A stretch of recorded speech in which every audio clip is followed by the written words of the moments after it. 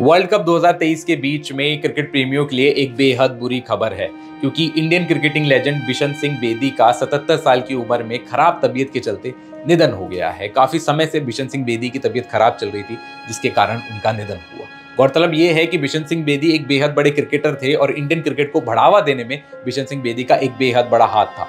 1967 से 1979 के बीच में उन्होंने 66 टेस्ट मैच खेले, जहाँ पर उन्होंने 266 विकेट्स लिए। साथ ही साथ वो काफ़ी समय से इंडियन टेस्ट क्रिकेट टीम के कप्तान भी रह चुके हैं। इंडिया की पहली ओडीआई विन में भी बिशन सिंह बेदी का बहुत बड़ा हाथ था। उन्होंने विकेट्स ली थी, जिसकी वजह से इंडिया ने इतिहास में पहली ओडीआई विन रजिस्टर करी थी। बिशन सिंह बेदी के बेटे अंगद बेदी एक बेहद बड़े एक्टर हैं। इंडिया के लिए काफ़ी बॉलीवुड फ़िल्मों में उन्होंने काम किया है और अंगद बेदी की वाइफ नेहा दूपिया, उन्होंने भी काफ़ी बॉलीवुड फ़िल्मों में काम किया है और वो भी एक बेहद बड़ी एक्ट्रेस है। और बिशन सिंह बेदी की मैं बात करूँ तो वो बाएँ हाथ के एक स्पिनर थे।